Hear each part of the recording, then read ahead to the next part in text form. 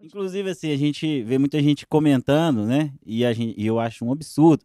As pessoas falando que os professores é, não estão fazendo nada no período de pandemia. Eu vou te falar, minha mãe já tem aí já está próximo dos 60 anos. Dá aula de quê? Dá aula de português. Ela é professora de português, mas hoje ela dá aula pro, pro, em duas escolas. Que o professor, viu, gente? O professor, ele não consegue se dedicar apenas a uma instituição se ele quiser ganhar um salário digno. Então, a minha mãe dá aula no Estado e dá aula também para a prefeitura, uhum. uma de manhã, uma tarde.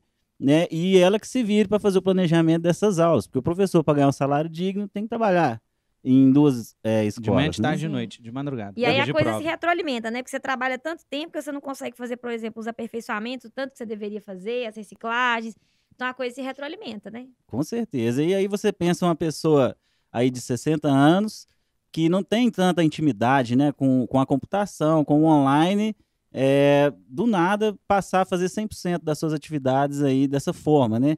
O, o que, que a pessoa teve que se adaptar? São reuniões todo dia, planejamento de aula, né? E eu acompanhei isso de perto da minha mãe e isso aí o quanto foi difícil. Você viu também esse tipo de comentário que os professores não estão fazendo nada? Você eu chegou... vi, eu vi. É, há, um, há, um, há um movimento, né, assim, a nível de país, para que a gente criminalize os professores, criminalize a classe cultural, passa muito por isso, a galera da cultura, da arte, passa muito por isso também, por essa tendência a ser criminalizada, é, como se fosse coisa... Posso falar não?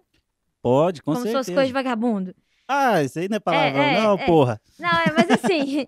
é, e aí o que que acontece? Eu vejo, assim, eu sou nova, cresci nas redes sociais e tal, mas assim, eu tive que ajudar um monte de amiga minha, professora mais velha. E eu, o que eu vejo é que, assim, eu comprei computador, eu comprei cadeira boa, todos os professores compraram computador, fizeram home office, aumentaram a internet. Quem que arcou com isso? Isso não é uma crítica aos proprietários da escola que eu trabalho, não. Isso é nacional. Então, assim, ninguém quer colocar essas coisas na ponta do lápis. O professor já, já já foi ruim a vida inteira o horário de trabalho do professor, porque o professor trabalha de noite, sábado, domingo, feriado e tal. Isso piorou dez vezes mais. Aí o professor virou youtuber, virou editor de vídeo, virou editor de, de, de foto, virou tudo isso. E 80% das vezes fazendo isso com muito carinho. 80% das vezes fazendo isso com muito amor. Você tocou num ponto, assim. A minha mãe comprou o computador, aumentou o pacote de internet, é, colocou na roça também, para trabalhar no final de semana lá, que não tinha rede você vê que não para, né? Aí lá a gente, os filhos já têm mais intimidade com a computação, dá um apoio. Então, assim, é igual você falou, teve que comprar uma mesa, adaptar uma cadeira. Sim, fazer uma estrutura de home office, né? A gente viu empresas como a Netflix, e isso eu vi uma entrevista do Flow Podcast, né? Que é um programa que inspirou a gente aqui. Sim. Copiou a gente. É, tá é, o Flow copiou a gente. Aí é, a Netflix enviou para todos os dubladores, os principais, né? computadores, microfones que nem consegue comprar mais no uhum. mercado, né?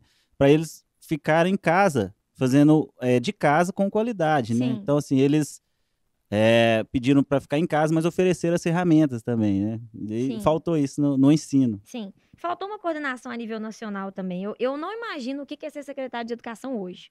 Porque poder executivo, gente, poder legislativo, não estou dizendo que é mais fácil, não. Não é. Mas você apontar o que está errado é mais fácil do que você pegar para resolver. E poder executivo é bombo o dia inteiro. Gente, poder executivo é decidir assim: ou eu abro esse posto de saúde, ou eu abro essa escola. As duas coisas são necessárias. E às vezes você está custando para não fechar algum, porque não tem dinheiro. Então, poder executivo não é brincadeira. Mas é o que eu vejo é que os secretários de educação a nível estadual e municipal, eles estão segurando batata quente com a mão porque não há coordenação a nível federal, né? E quando não há coordenação a nível federal, cada um faz do jeito. Então, tem estado que o PET, que é essas, essas tarefas remotas, né? É, é, só online. Aí outros têm o modelo híbrido, outros têm o online e tem papel para os meninos que não têm acesso à internet. Outros estados viabilizaram a internet para os meninos. Então, o país, que sempre foi desigual, ele aprofundou desigualdades, né? E a questão da educação, para mim, ela é sintomática. Ela é sintomática de como que o aprofundamento de desigualdades aconteceu na pandemia.